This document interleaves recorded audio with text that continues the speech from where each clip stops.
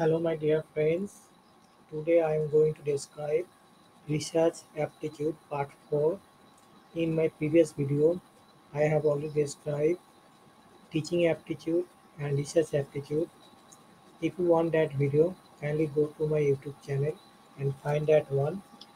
Now, today's question becomes Field work based research is classified as option A empirical, B historical, C. Experimental. D. Biographical. Here answer becomes empirical. Next question. Which of the following is not a longitudinal design? Option A. Panel. B. Cross-sectional. C. Trend. D. Option B and C, uh, option both A and C. Here option becomes here answer becomes cross-sectional. Next question.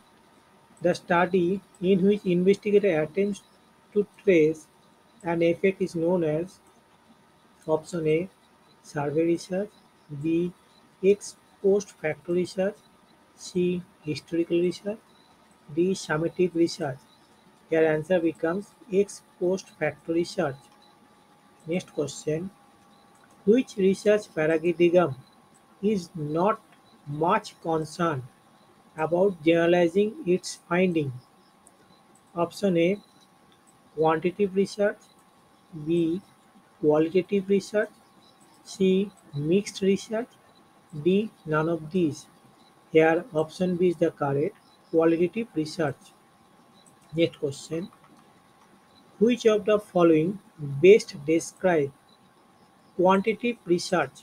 Option A the collection of non-numerical data B. An attempt to confirm the research hypothesis. C. Research that is exploratory. D. Research that attempts to generate a new theory. Here option D is the correct answer and answer becomes research that attempts to generate a new theory. Next question. Which type of research is likely to provide strongest evidence about the existence of cause and effect relationship. Option A non-experimental research B experimental research C historical research D none of these. Here B is the answer experimental research is the answer. Next question. Which form of reasoning is the process of drawing a specific conclusion from a set of premises. Option A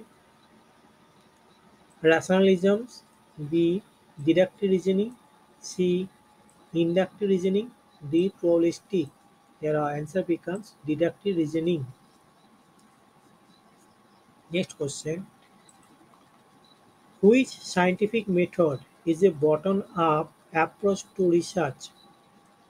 Answer becomes option A deductive method, B inductive method, C hypothesis method, D pattern method. Your answer becomes B inductive method.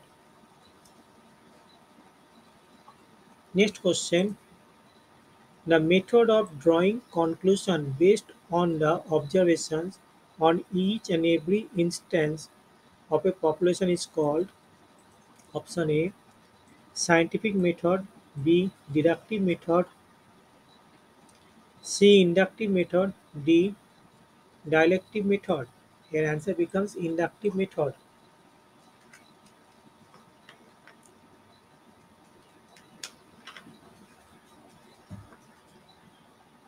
Next question. Which scientific method follow this step? 1. Observation or data. B. Patterns and 3. Theory. First option A. Inductive B. Deductive C. Top down D. None of these. Your answer becomes inductive. Next question.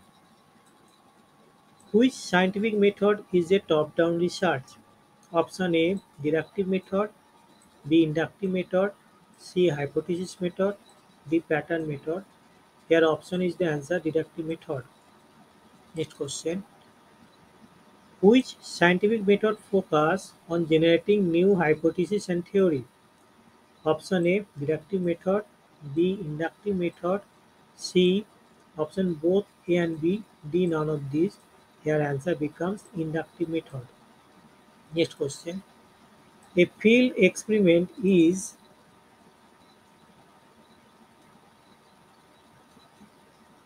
one that takes place in option A real world, B laboratory, C both in real world and laboratory, D natural environment. Here option is the correct answer real world. Next question. Characteristics of the scientific method necessarily include option A lab experiment only, B control observations, C analysis formulations, D all of these. Their answer becomes control observation. Next question. The quality research is usually A. Deductive in nature, B. Inductive in nature, C. Both inductive and deductive, D. None of these. Your answer becomes inductive in nature. Next question. Which of the following type of research is associated with theory generating? Option A. Inductive research, B. Deductive research, C. Both inductive and deductive, D. None of these. Here answer A becomes inductive research. Next question. Which of the following types of research is associated with the- theory testing? Option A inductive research, B deductive research, C both inductive and deductive, D none of these. The answer becomes B deductive research.